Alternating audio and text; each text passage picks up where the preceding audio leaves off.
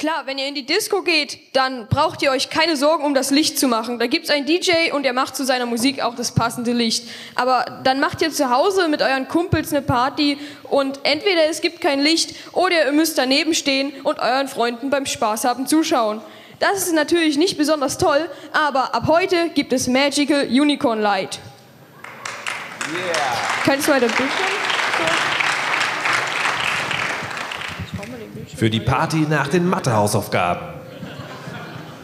Oder während der Mathehausaufgaben. Uh. So, ja. Also, gesagt, die Idee ist, wir haben Musik und wir wollen am Ende Licht haben und das soll zur Musik passen und dabei wollen wir sozusagen den Lichttechniker arbeitslos machen, weil kann man sich nicht immer leisten. Ne? Ähm, und man will ja tanzen, wie schon gesagt. Und deshalb haben wir uns einfach äh, ein Projekt ausgedacht, das quasi, ich weiß nicht, ob wir auch eine Präsentation bekommen und ob das mit dem Internet noch was wird, damit es nachher auch Einhörner gibt. Ähm, ja. Äh, ja, das ist super, danke. Genau, und dann können wir gleich mal weiter überspringen. So, ja, Bild. Oder es geht darum, äh, dabei nicht um irgendwelche Grafikeffekte auf dem Bildschirm, sondern es geht einfach nur um buntes Licht, was irgendwie zur Musik passt. Und darum haben wir uns gekümmert. Aber es geht nicht so ganz. ja. Das bist du eigentlich ne? So, unser, unsere Aufgabe lässt sich mal so grob in drei, vier Unterpunkte unterteilen. Einmal, wir müssen irgendwie Musik einlesen. Das haben wir jetzt so gemacht, dass wir einfach eine WAV-Datei nehmen und analysieren.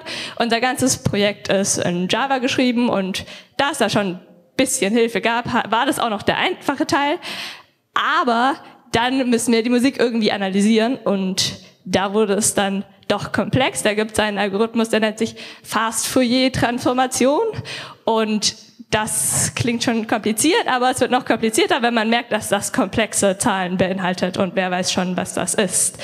Und ich wollte eine Frage, wie viele 14-Jährige kennt ihr, die Sachen mit komplexen Zahlen implementieren? Ich kenne nämlich genau einen und das ist der Noah und der hat das ganz toll hingekriegt und irgendwie haben wir jetzt Frequenzen, die wir magisch analysieren können und dann im nächsten Schritt dazu Lichteffekte erstellen und diese dann auch wieder äh, auf verschiedene Endgeräte, Lampen beziehungsweise auch Bildschirme, die bunt blinken können, ausgeben wollen.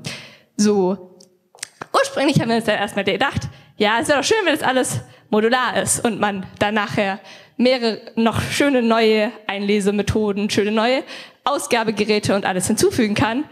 Und ja, das war der Plan. Und dann haben wir angefangen zu programmieren und dann haben wir gestern Abend auf den Code geguckt und es war nicht so sehr modular, wie das mal gedacht war.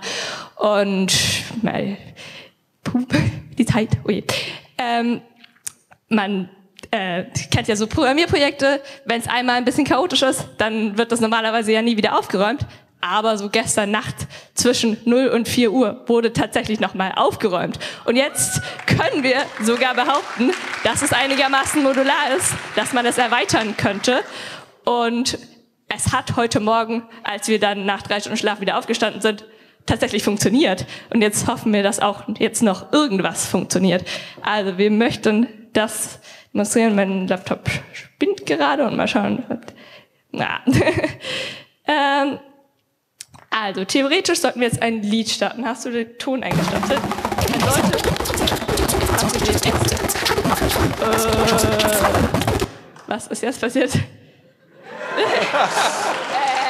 ich würde mal sagen, Sound so und Licht passen zusammen. Wir können uns das ja gleich nochmal angucken.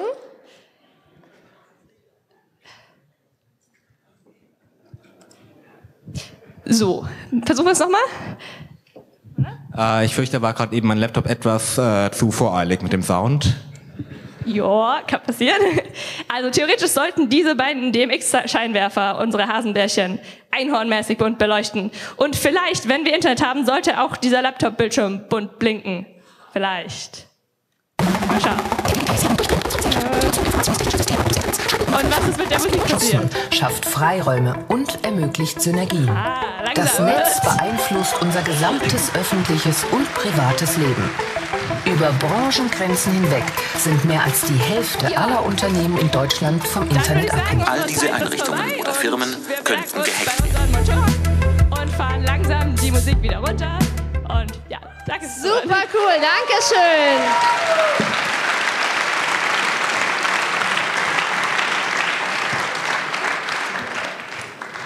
Ich fühle mich erleuchtet. So schön. Ich möchte es auf jeden Fall für zu Hause haben. Danke.